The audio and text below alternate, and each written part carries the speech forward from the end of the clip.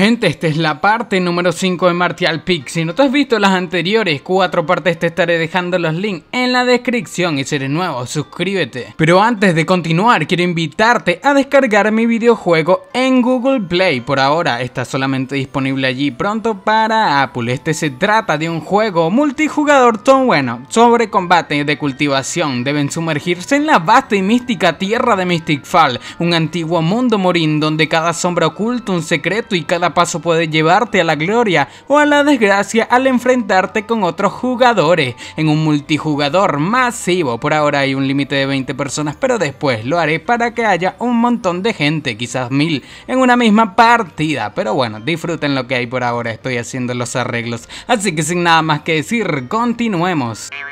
Todo continúa con aquel vendedor ambulante, el cual después de entregarle la semilla al protagonista le explica que aquella era una semilla de la fruta de triple sol y la habían encontrado cuando estaban extrayendo de la mina las piedras ya inflamadas y las frutas que se pueden cosechar de aquel árbol son frutas espirituales de grado terrenal de nivel inferior, sin embargo solamente crecerían cuando el árbol haya madurado. Con esto el protagonista piensa que teme que incluso si su suerte era buena no vería ningún resultado en los próximos 10 años. Sin embargo, como era de buena voluntad del encargado de aquel puesto, lo aceptaría. Después de un rato, el protagonista caminaba mientras estaba siendo seguido por la pequeña May y el prota pensaba que necesitaba pensar en una manera de quitársela de encima, pues si ella le sigue hasta el pabellón de cielo alto, se preguntaba que qué pensarían los demás sobre él, pensando que su reputación no era tan buena después de todo, que tal vez, bueno, llegue a asustarla si iba hacia las profundidades del bosque,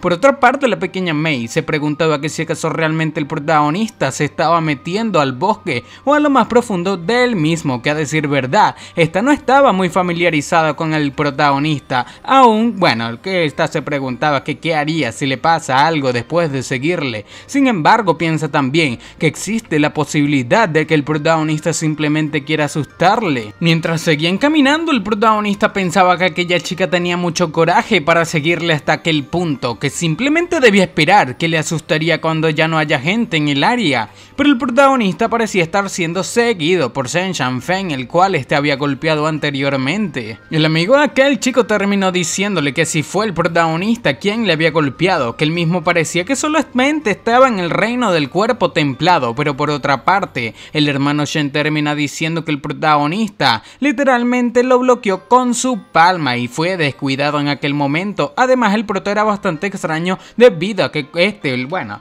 no cualquiera remete contra una espada de esa manera como lo hizo el protagonista. Aquel chico preguntaba al hermano Shane que si había investigado el estatus del protagonista e inmediatamente él mismo responde que se trata de un discípulo de prueba sin ningún trasfondo. Con esto aquel chico pregunta que cómo puede ser posible, que creía que el pabellón cielo alto solamente tenía 10 discípulos de prueba en total, que si le estaba diciendo que el protagonista era uno de aquellos perdedores el hermano Shen afirma penado, diciendo que antes tuvo temor de que la gente aún estuviese en aquella área, así que no podía atacar descuidadamente, pero no se imaginó que el protagonista iría inesperadamente a las profundidades del bosque de viento negro con aquella chica Mei, y aquello hacía mucho más fácil las cosas que estos tenían en mente. Con esto, su compañero le dice que parece que él mismo no podría, bueno, no solamente podría vengarse, sino que también obtendría a la mujer que tanto deseaba, lo cual es matar dos pájaros de un solo solo tiro. Mientras caminaba el protagonista, termina diciéndole a la chica May que por qué se le acercaba tanto, que solamente debía acompañarle una vez. Bueno, parece ser el prota quien intentaba alejarla. Pero la chica insistía preguntando que si acaso no era hermosa, que si su figura no era buena y que si de verdad el prota no se sentía atraído por ella en lo más mínimo, cuya cosa el prota le dice, que su apariencia no estaba mal, que su trasfondo también era impresionante, sin embargo su personalidad le parecía completamente desagradable con esto la chica pregunta que si estaba diciendo que estás inmunda, cuya cosa el protagonista sin titubear afirmó. Estas palabras dejan totalmente congelada la pequeña May la cual gritaba al protagonista que este no era más que un discípulo de prueba y le llegó a gustar y sin embargo el prota no apreciaba su habilidad, bueno, amabilidad, preguntándole el prota que si sabía cuántos hombres había a las que le encantaba tener su atención, diciendo que el prota simplemente era un tonto por rechazarle y que se le decía su padre que fue humillada en ese lugar, el prota no podía creer que podría vivir otro día más. Pero el prota le dice que si ese era el caso, entonces debía buscar a aquellos hombres que porque insistía tanto en molestarle, preguntándole el protagonista que qué pasa si la elimina en ese momento, que si todavía sería capaz de decirle a su padre. Con esto, la pequeña May pregunta al protagonista que si acaso estaba bromeando, pero el prota le dice que su temperamento tiene algunos límites, por lo cual no bromea en lo absoluto. Mientras estos dos estaban discutiendo, el protagonista terminó percatándose de una presencia ordenando a aquellas dos personas que salgan. La pequeña May parece reconocerlos e inmediatamente terminan diciéndole a la misma que solamente estaban allí para eliminar al protagonista y esta debía alejarse lo más que pueda de él, pues no querían herirle diciendo que si era así esta llega a bueno, lastimarse su corazón sería herido. Inmediatamente la pequeña May dice al protagonista que este tenía que escucharle atentamente, que si no quería perder la vida, bueno, debía prestarle bastante atención, explicando que aquel chico nuevo llamado Nutao avanzó a la quinta etapa de la fundación inicial un medio mes atrás, que había una enorme diferencia entre Shen Xiaofeng y él, por lo cual el protagonista, bueno, cree esta que no sería capaz de vencerle. El protagonista le pregunta a la pequeña Mei que si acaso esta tenía un método para lidiar con ellos dos, cuya cosa la misma dice que no era lo suficientemente fuerte pero no se atreverían eliminarle, que si el prota prometía cumplir una condición de ella entonces garantizaría su seguridad. Con esto el prota dice que no era necesario. Con esto la pequeña Mei simplemente le gritaba que si prefería perder la vida antes de bueno, aceptar aquella condición que esta tanto quería. Pero el prota le dice que lo sentía, que prefería no deberle nada a nadie, además que si acaso esta sabe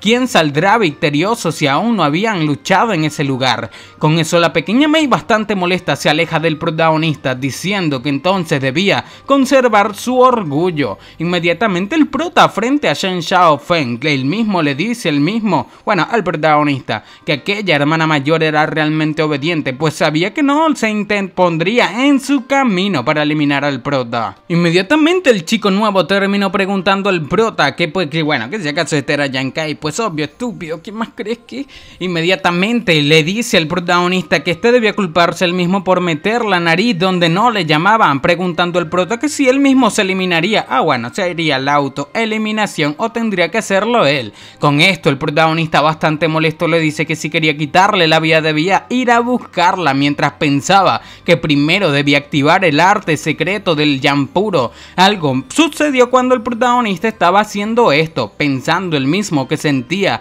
en su pecho una sensación de calor extremadamente violenta con una enorme cantidad de Kiyan y estaba fluyendo hacia sus meridianos. Este un tanto confundido se da cuenta de que sus meridianos se habían acostumbrado al intenso dolor que sintió antes, sin embargo la sensación seguía siendo la misma y la cantidad masiva de Kiyan todavía fluía hacia sus meridianos. Inmediatamente se dio cuenta de que una gota de esencia Yang apareció y bueno, así sucesivamente fueron apareciendo. Con esto ya la tercera gota el prota piensa que la misma había desaparecido de repente después de formarse, que si acaso tal vez se trataba de la piedra Yang inflamada, que ni siquiera quedó lo mínimo de Kiyan en la misma. Parece ser nuestro protagonista hizo una excelente compra y mientras esto sucedía el chico pelirrojo le dice a su hermano Shen Chan Feng, bueno, aquel chico que el prota golpeó, que debía irse junto cuando esta parece ser el protagonista hizo una excelente compra pues su fuerza había aumentado. Inmediatamente el chico de cabello rojo le dice a aquel, bueno, al que el prota golpeó, que este debía ir junto a él a golpear al protagonista en caso de que algo suceda, pues este pensaba que para qué había estado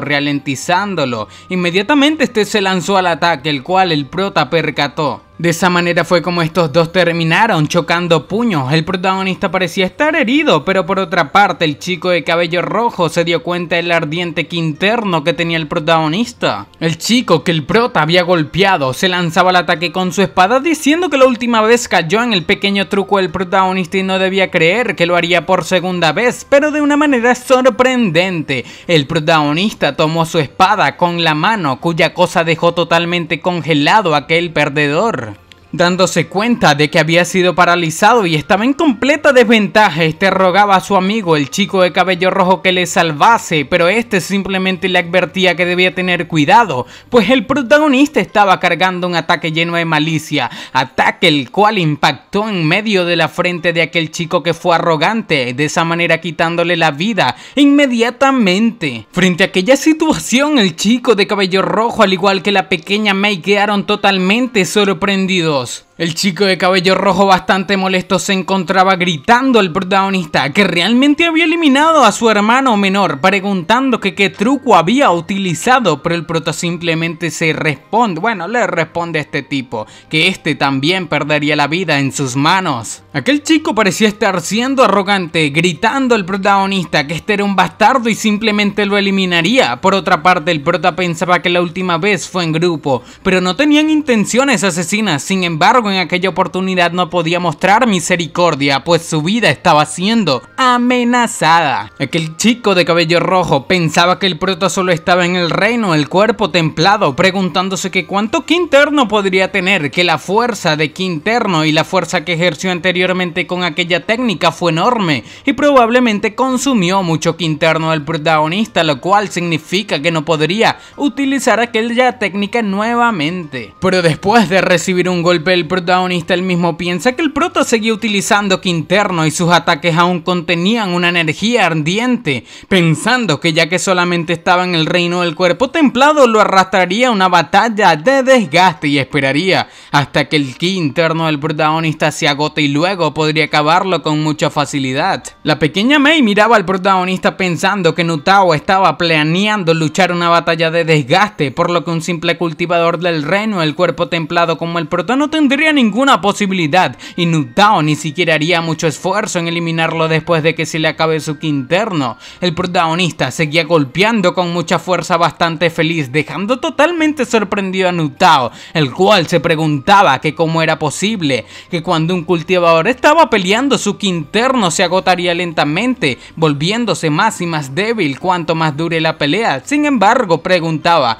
que por qué el protagonista no contaba en aquel caso. Pero de una manera y con una pequeña técnica de pasos el protagonista logró conectar un fuerte golpe en el pecho de Nutao, golpe el cual parece dejarlo gravemente herido. Aquel tipo intentó golpear al protagonista en un contraataque, sin embargo el mismo fue bloqueado y de esa manera fue como este intentó escapar, pero el protagonista tomando una pequeña píldora terminó formando una especie de lanza con su propia sangre, lanza la cual lanzó hacia aquel chico que tenía en mente escapar, atravesándole así de esa manera el pecho. Luego de aquella situación y después de eliminar a sus oponentes, el protagonista dejó totalmente sorprendida a la pequeña Mei, la cual pensaba que originalmente pensó que el prota, bueno, fuese a pedirle ayuda, pero aquello no estaba en lo que éste imaginó anteriormente. Y cuando el protagonista volteó a mirarla, esta parecía estar congelada del miedo, pues no sabía qué tipo de monstruo estaba escondido entre los discípulos de prueba del pabellón cielo alto. El protagonista simplemente le dijo que se quede en ese lugar, pues este iría revisar que tenían los chicos antes, bueno, cuando tenían vida. Por esto el protagonista revisando los tesoros piensa que solamente tenían unos cuantos tiles y dos botellas llenas con algunas píldoras, lo cual siguen valiendo una cantidad razonable y no estaba para nada mal. Inmediatamente la pequeña May le pregunta al prota que si le faltaba dinero, pues esta podía darle mucho si prometía no eliminarle. Con esto el protagonista le dice que no es como si este fuese un bandido, preguntando que por qué necesitaría su dinero, que si le falta dinero este podía ganárselo él mismo. Parece ser la pequeña May estaba aterrada, pues no sabía si el protagonista también la eliminaría a ella, y el prota simplemente le pide que se acerque a él, y viendo que esta no se movía le pregunta que qué le temía, que le dijo que fuese hacia allí, que por qué seguía parada en ese lugar, que si le obedece no le haría ningún daño. Luego de que ésta se acercase, el protagonista tomó el cuerpo de Jutao, ordenando a la pequeña Mei que tomase el cuerpo del chico que estaba siendo arrogante. La pequeña May por dentro simplemente lloraba, pues pensó que el protagonista simplemente quería que cargase el cadáver del chico Chen. Mientras caminaban, el prota pensaba que a pesar de que aquel lugar estaba lejos de cualquier camino, nunca cesaba si algunos amantes molestos se hayan dirigido hacia las profundidades del bosque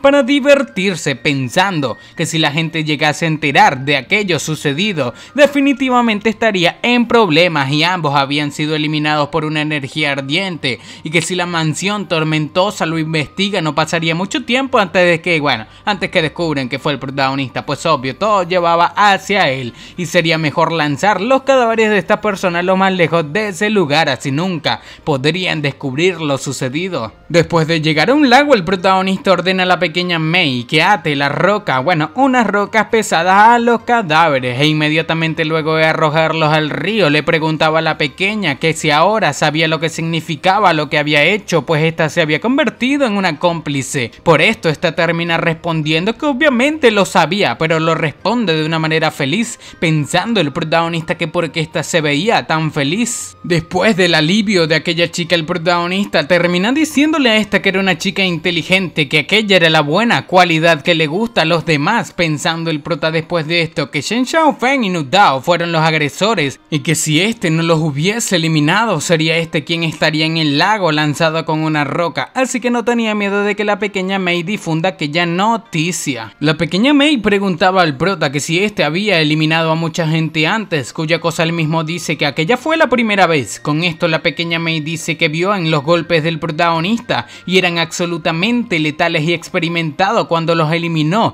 que ni siquiera arrugó las cejas sino parecía que fuese su primera vez. Pero el prota con esto simplemente le dice que no le importa si le cree o no, que debía esperarlo en ese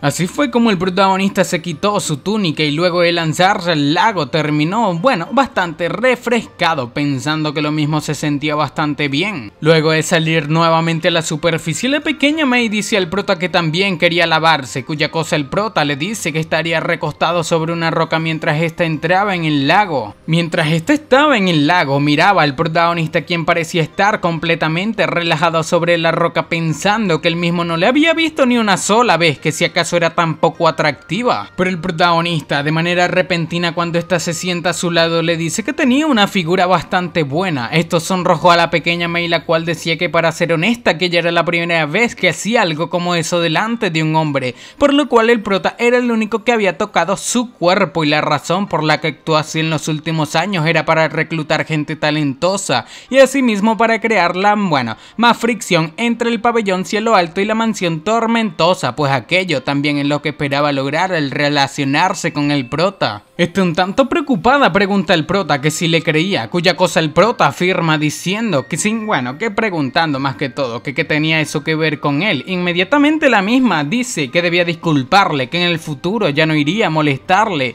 Con esto el prota piensa que tomaría aquello como si aquel problema se hubiese resuelto, y así fue como estos dos tomaron caminos separados. Un rato después el prota se encontraba en el arroyo del dragón expulsado pensando que eliminar a aquellos dos chicos le había costado una gota de Yang y su Dantian estaba completamente seco por lo que necesitaba cultivarse deprisa, pensando que cuando cultivó tres gotas de esencia Yang después de absorber la piedra Yang inflamada, una desapareció de repente y como esperaba, había un latido rítmico procedente del centro de la semilla que había obtenido por parte del vendedor ambulante o del encargado por lo menos, que era como si un corazón estuviese latiendo lleno de vitalidad dentro de la misma. Con esto el prota piensa que así que aquella gota de esencia Yan de Sudantian había sido absorbida por la semilla, pensando que si ese no fuese el caso, que de qué otra manera podría una semilla experimentar un cambio tan absurdo, pensando que si acaso una gota de esencia Yan, que si no había influencias externas que ayuden, esto iba a costar muchos días de esfuerzo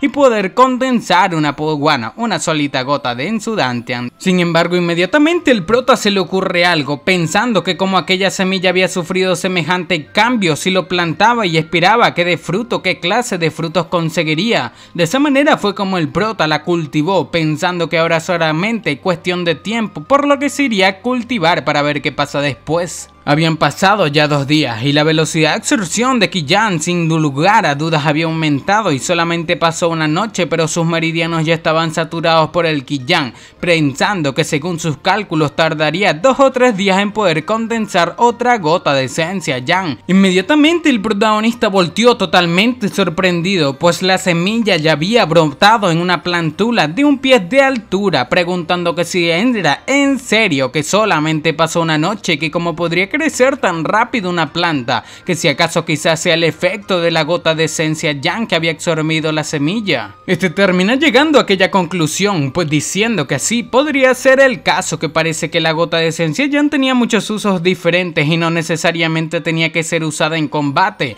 que en una noche había crecido un pie de altura, que si tal vez dará frutos en un par de días, que el dinero que había invertido fue sin duda una decisión correcta, que aquel lugar estaba al lado del arroyo del dragón expulsado y normalmente nadie pasaría por allí, incluso si alguien lo hace duda que note aquel árbol, por lo cual no había necesidad de preocuparse, así que se iría a su casa. Luego de entrar a su casa, el protagonista se preguntaba que dónde estaba su escoba, pero de un momento a otro este fue sorprendido por el seguidor de Sumu, el cual preguntaba que si acaso había vuelto. El prota afirma diciéndole a aquel menor Shen que por qué estaba haciendo eso y que por qué había tomado su escoba. Él mismo le dice que le ayudaba a barrer debido a que de ahora en adelante ya no tendría que preocuparse por aquel trabajo, que en aquel grupo de discípulos uno de ellos iría a barrer por él cada vez, bueno, para que el prota pueda concentrarse centrarse en su entrenamiento. El prota le dice que aquello no parece ser muy apropiado, pero aquel seguidor insistía diciendo que en lo absoluto era un negativo, que aquello no era nada comparado con aquella vez que le dio una lección a Shen Xiaofeng y a su grupo. Además, esto era un grupo con muchas personas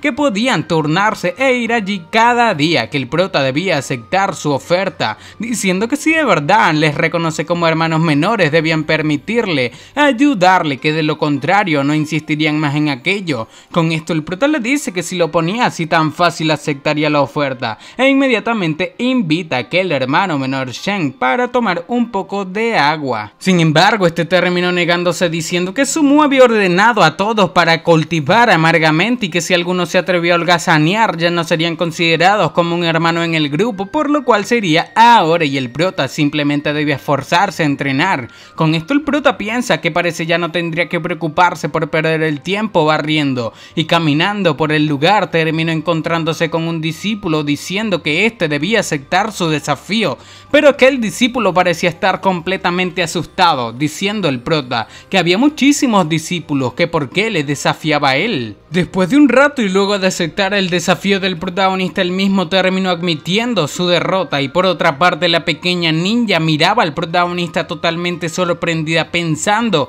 que aunque no tiene nada que ver con la mejora del protagonista lo había estado observando durante dos años. Y sus propios ojos presenciaron el compañero discípulo que una vez perdió 147 veces seguidas, nada más y nada menos, y se estaba volviendo cada vez más fuerte y sentía que estaba compartiendo el logro con el protagonista, cuya cosa provocaba que ésta se sonrojase. Un tiempo después el protagonista se encontraba en el arroyo del dragón expulsado, mientras cultivaba pensaba que habían pasado 5 días desde que sembró la semilla de la fruta triple yang y ya había crecido como 10 pies de altura, por lo que prácticamente cada día hay un cambio drástico, que no debería tomar más de unos pocos días para que aquellas tres flores den sus frutos. Cuando el prota estaba a punto de tomar la bolsa agradeciendo el tesorero terminó arrancándosela de las manos diciéndole a este que si acaso podría decirle que fue lo que comió cuando estuvo en la montaña de viento negro. El protagonista termina diciendo que no lo sabía realmente, que era una fruta roja brillante y se lo comió porque estaba muriendo de hambre. Con esto el anciano le dice que una fruta roja brillante, esta era algo que le dejaba pensar bastante, que no importaba que si acaso el prota no iba a ahorrar sus puntos de contribución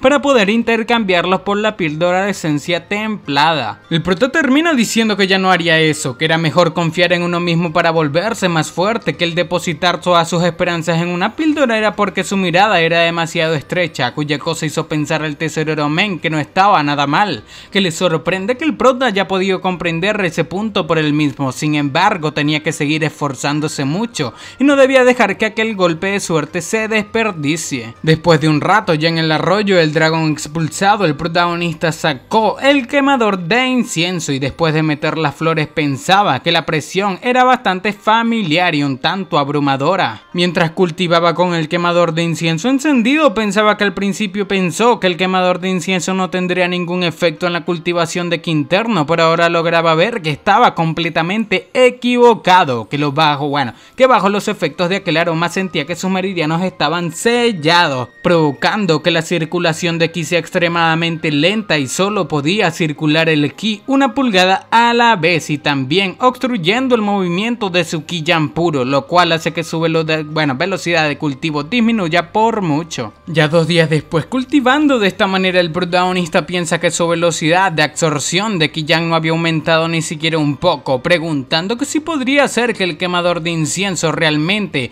esté obstaculizando la cultivación de ki interno. Con esto el protagonista piensa que era mejor guardar aquel quemador de incienso y no perder más tiempo porque tenía que recuperar su ki interno y mientras cultivaba el prota piensa que parece que el movimiento de su ki puro dentro de su cuerpo había aumentado, que era más rápido que dos días atrás. Con esto termina dándose cuenta del funcionamiento de aquel quemador de incienso, explicando que el impacto del quemador de incienso no obstaculiza la cultivación de Quinterno, por el contrario le estaba dando algún tipo de beneficio como si estuviese entrenando con una piedra pesada, para después de quitarse aquella piedra correr aún más rápido. Con esto, alabando a quemador de incienso piensa que el mismo estaba probablemente, bueno, restringe a corto plazo la cultivación del arte secreto del Jan puro, pero a largo plazo aquel de mérito resultaba en grandes beneficios, pues aquella era una inversión bastante valiosa. Pasa el tiempo y ya habían pasado 10 días desde que el prota había sembrado aquel árbol y ya las frutas espirituales de nivel inferior habían madurado, bueno, madurado por completo y aquella gota de esencia Jan realmente hizo algo grandioso. Tomando las frutas de aquel árbol el protagonista tenía en mente comer una mientras se sentaba a cultivar. Mientras cultivaba este pensaba que la fruta espiritual entró en su abdomen con la ayuda del arte secreto del puro y era como si estuviese siendo destruido por el fuego y el calor le estaba haciendo sentir bastante cómodo y relajado, pero inesperadamente logró condensar tres gotas de esencia Yang, agregando el resultado de aquellos varios días que pasó cultivando. Había un total de cuatro gotas en su Dantian y si se comían las frutas restantes podría ser posible incluso atravesar a la novela novena etapa del cuerpo templado.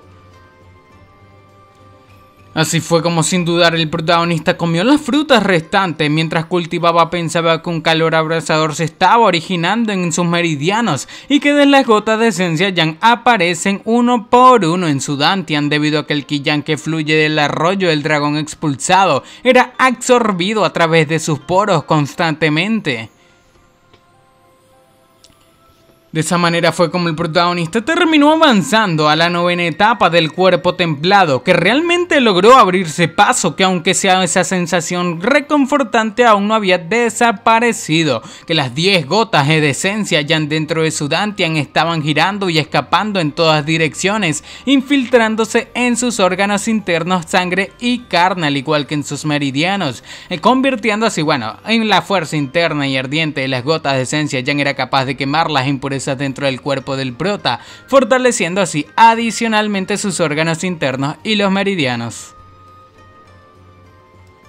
Después de un tiempo el protagonista finalmente terminó pensando que aquel avance hizo que su fuerza aumentase a pasos agigantados, que con el poder actual que este tiene no se podía comparar con lo que tenía antes, además del aumento de su fuerza. Cuando este se abrió paso pudo conocer aquella sensación reconfortante y era solamente que era demasiado misterioso que no pudo comprenderlo del todo, que el resultado que logró minuciosamente a través de los últimos días de arduo trabajo se desvaneció en un abrir y cerrar de ojos y un total de 10 gotas y no había, bueno, quedado ninguna compensando el prota, que aún así todas se habían infiltrado en su cuerpo, parece ser aquel aumento de nivel le llevó a dejarlo completamente seco sin ninguna gota de Kiyan.